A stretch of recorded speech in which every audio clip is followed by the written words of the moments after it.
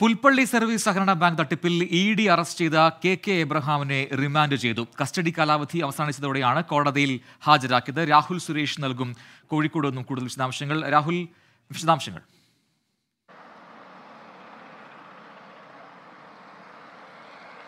പ്രജിന് ഇന്ന് വൈകിട്ട് നാലു മണി വരെയായിരുന്നു കസ്റ്റഡി കാലാവധി അനുവദിച്ചിരുന്നത്.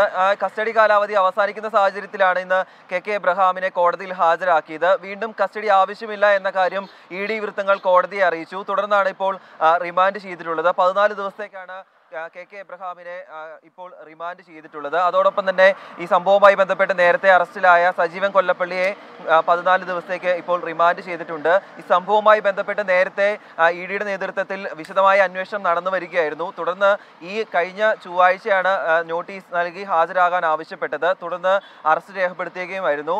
നാല് ദിവസമാണ് തുടർച്ചയായി കെ കെ എബ്രഹാമിനെ ഇ ഡി വൃത്തങ്ങൾ ചോദ്യം ചെയ്തത്. ഇതിൽ നിന്നും വ്യക്തമായ ചില സൂചനകൾ അതായത് തട്ടിപ്പുമായി ബന്ധപ്പെട്ട് കെ കെ എബ്രഹാമിന്റെ പങ്ക് വ്യക്തമാക്കുന്ന ചില വ്യക്തമായ രേഖകൾ ഇടുക്കി കണ്ടെത്താൻ സാധിച്ചിട്ടുണ്ട്.